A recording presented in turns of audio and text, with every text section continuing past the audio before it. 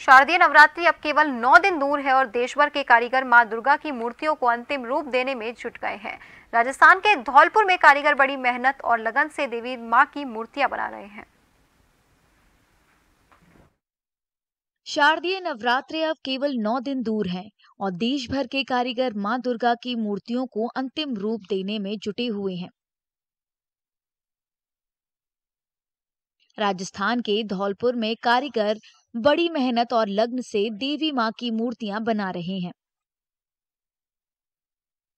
एक दशक से अधिक समय से देवी देवताओं की मूर्तियाँ बना रहे इन कारीगरों का कहना है कि महँगाई ने उनके व्यवसाय पर बुरा असर डाला है।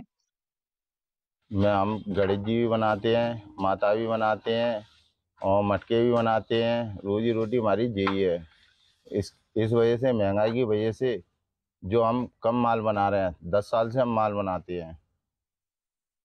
तो इस बार कम बिक्री हुई। हाँ इस बार बहुत कम बिक्री हुई है।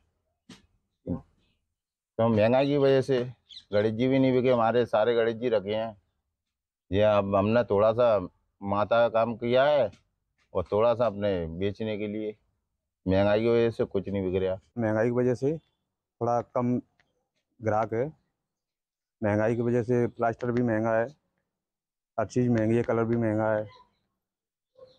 महँगाई की वजह से कम बिक्री हाँ। कम बिक्री है बहुत कम है। इसलिए कम माल भी बनाया। इन कारीगरों की रोजी रोटी पूरे साल अलग अलग टेराकोटा उत्पाद बनाने पर निर्भर करती है। गणेश उत्सव नवरात्रि और दिवाली जैसे त्योहारों का इन्हें बेसब्री से इंतज़ार रहता है क्योंकि वो देवी देवताओं की मूर्तियाँ बनाकर